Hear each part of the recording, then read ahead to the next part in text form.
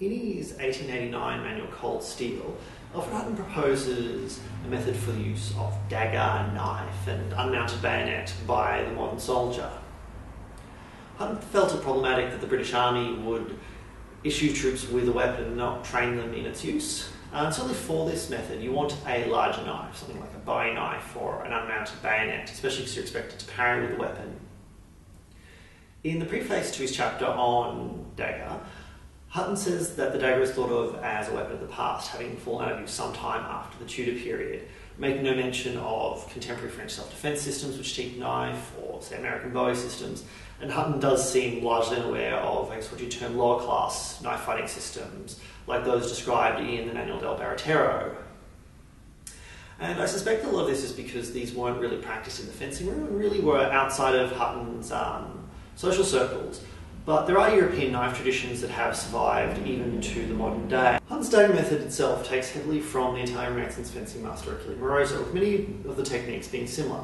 And Hutton states this. In fact, he's very keen to let us know that these techniques are drawn from historical sources, even if what he's doing is a little different. This is part of a broader trend referred to as medievalism, which is evident in the works of Walter Scott and Tennyson, the Victorian Gothic Revival, and the Eglinton Tournament. Much of Hutton's work was to reconnect fences with their roots, so to speak. In 19th century Britain, there was a big move to reconnect with the past, even if it was an imagined one.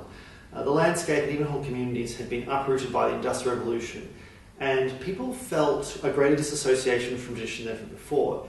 History is not something that can be taken for granted. One could not reasonably assume things had always been done a certain way. Um, and certainly, Hutton's research into historical fencing was influenced by this. But it was also about identity, about reconnecting with the grand British fencing tradition.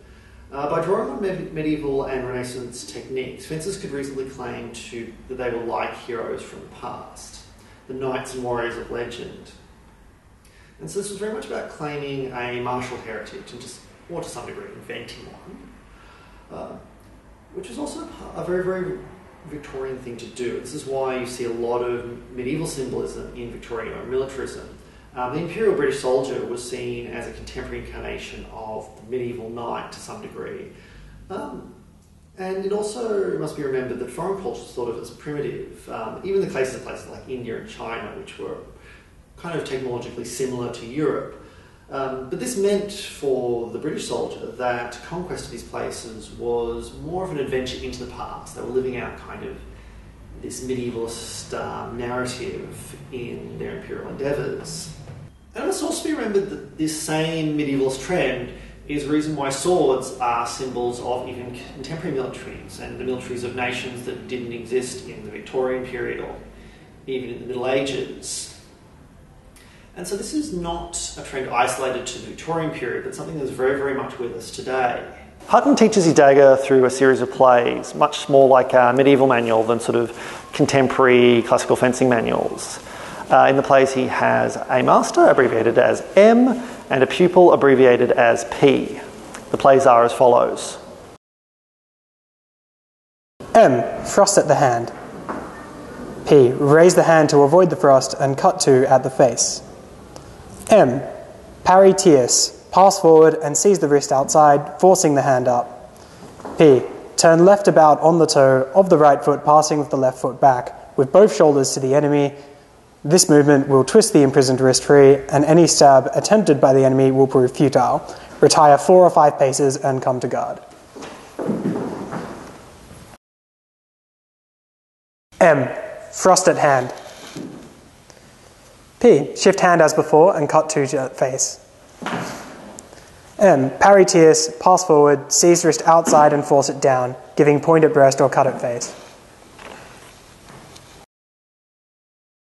M. Cut one at face. P. Pass the left front, parry quarte, seize wrist inside, force it down and point at breast. M. Back to guard.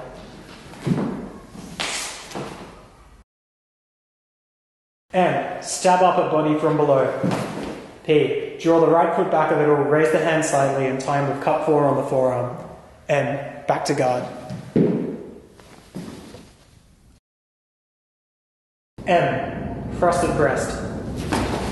P. Carries his hand low, time cut under the wrist with false edge. M. Back to guard.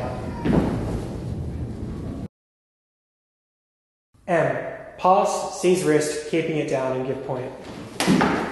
P. Carries hand low. M. Back to guard. M. Cut either three or four at leg. P. Shift leg, step forward again, and cut to at face. M. Cut at leg. P. Shift leg and cut three or at arm. M. Cross tierce at inside of hand. P. Shift hand, cut forward forearm. M. Shift arm, cut one at face. P. Parry quarte, pass, seize wrist inside, forcing the arm outwards and deliver either point or cut. The knife may be thrown to take advantage of your opponent's disorder. That's Hutton's dagger in all of its medievalist glory. Um, if you're into bow knife, it's certainly worth giving a go. And um, even if not, say you're a saber or a foil fencer, what you'll find is the techniques are pleasantly similar. It makes it very, very easy to add knife to your arsenal. Um, but if you're neither, I mean, by all means try anyway. And certainly uh, like, share, and subscribe, um, and have fun fencing.